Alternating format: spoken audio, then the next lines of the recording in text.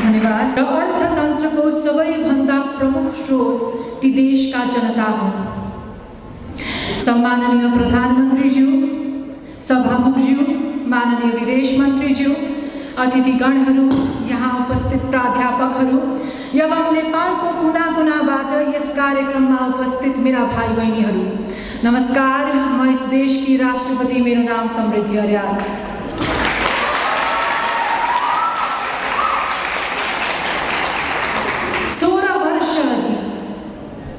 सोह्र वर्ष अघि वैशाखको महिना सोह्र वर्ष अघि वैशाखको महिना हामीमध्ये निकै काठमाडौँका यस देशका विभिन्न ठाउँबाट काठमाडौँ भित्रिएका थियौँ लक्ष्य केवल एक थियो गणतन्त्र आज आफूले देखेका आफूले चिनेका मुहारहरू देख्छु आफ्नै साथीहरू देख्छु निकै खुसी लाग्छ हामी निकै टाढा आइसकेका रहेछौँ हामीले समृद्धिको जग थापिसकेका रहेछौँ।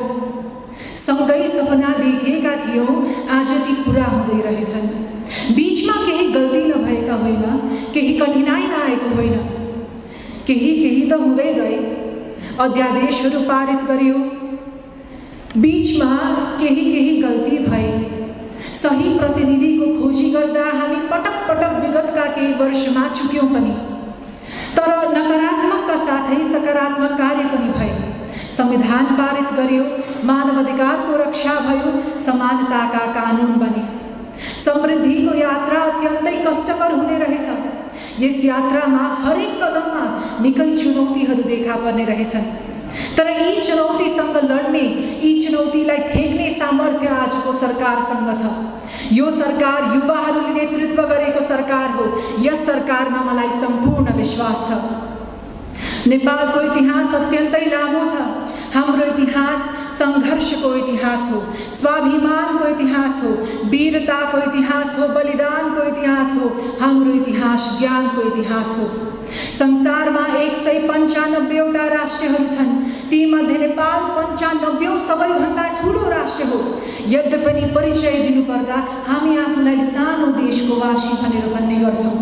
लिच्छवीकालीन अभिलेखहरू मुद्राहरू मुन्दुमहरू न्याय शास्त्रहरू छ हजारभन्दा बढी नदीहरू संसारका दस सबैभन्दा ठुला हिमालमध्ये आठ हिमालहरू पहाडहरू पर्वतहरू हिम श्रृङ्खलाहरू जङ्गलहरूले हामी धनी छौँ।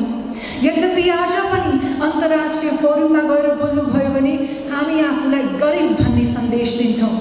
आफूलाई गरिब भन्नुको नेपाललाई सानो भन्नुको औचित्य के हो मलाई थाहा छैन। आज पनि मलाई प्रश्न गरिन्छ नेपालको विकास कस्तो हुनुपर्ने? धनीलाई अझ धनी बनाउने किसिमको विकासको नेपाललाई आवश्यकता छैन। नेपालीलाई त्यस्तो विकासको आवश्यकता छैन। तर नेपाली जनताहरू जो गरिब छन् उनीहरूको जीवन स्तर चाहिँ उच्च हुनु पर्यो हामीलाई त्यस्तो विकासको आवश्यकता छ। विकास ठुला रोडहरू ठुला ठुला भवनहरू र सिनेमा कम्प्लेक्सहरू बुझ्दछौँ तर विकास भनेको त ठुलो ठुलो विश्वविद्यालयभित्रको ठुलो ठुलो पुस्तकालय समेत हो यो बुझ्नु आवश्यक छ सत्र खर्बको व्यापार घाटाको भारले आज हाम्रा यी बलिया काँध झुक्दैछन् यी काँध अत्यन्तै बलिया छन् यिनलाई झुक्न दिनु हुँदैन। केही दिन अघि मलाई विद्यार्थीले प्रश्न राख्नुभयो यो सभामा पनि यही प्रश्न राख्न चाहन्छु। उहाँ भन्नुहुन्छ सरकारसँग संसद बनाउने पुँजी रहेछ संसद खुवाउने पुँजी रहेछ तर विद्यार्थी पढाउने पुँजी किन छैन? यही प्रश्न म शिक्षा मन्त्रालयलाई गर्न चाहन्छु।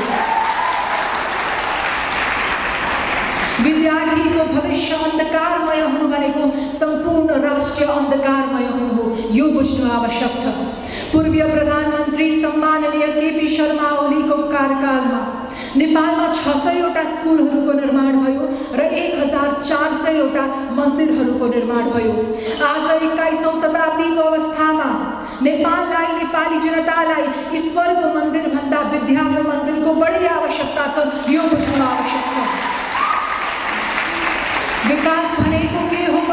प्रश्न गर्नुहुन्छ आज नेपालको कुनै पनि ठाउँमा एक स्त्री यदि गर्भवती छिन् भने व्यथा लागेको समयमा अस्पताल पुग्न पुगेर नपुगेर उनको मृत्यु नहोस् त्यस्तो विकासको आवश्यकता छ। विद्यार्थीहरू गुणस्तरीय शिक्षाको कमीमा विदेशिनु नपरोस् नेपालका निकै युवाहरू जसका साना साना नानी बाबु छन् उनीहरू बेरोजगारीका कारण विदेशिनु नपरोस् नेपाललाई त्यस्तो विकासको आवश्यकता छ।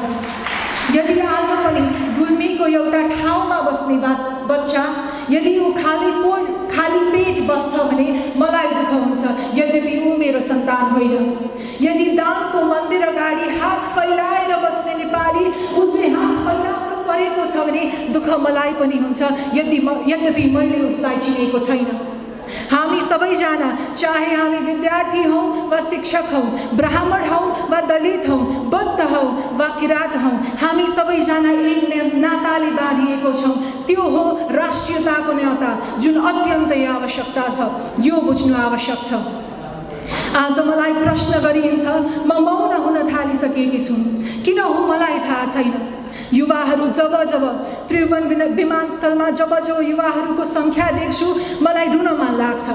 आँसु झर्दैनन् किनकि दरो हुनु आवश्यक छ। आज म प्रधानमन्त्रीज्यूलाई निर्देशन दिन चाहन्छु। यदि कुनै पनि गरिब नेपाली उसले हात पाउ पनि जोड्न गाह्रो छ हातमुख जोड्न गाह्रो छ भने उसले नि शुल्क व्यापार गर्न पाउनु पर्यो।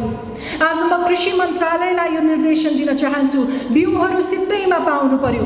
पाँच वर्षभित्र तराईको कृषि योग्य जमिन चाहे त्यो जसको सहीको पनि हुन सक्यो त्यो कृषि योग्य जमिनलाई हामीले कृषि योग्य जमिनसँगै खेतमा परिवर्तन गर्नु पर्यो। त्यहाँबाट नेपालको विकास सुरु हुनेछ। नेपालको विकास मबाट मात्र नभएर तपाईँहरूबाट सुरु हुनेछ।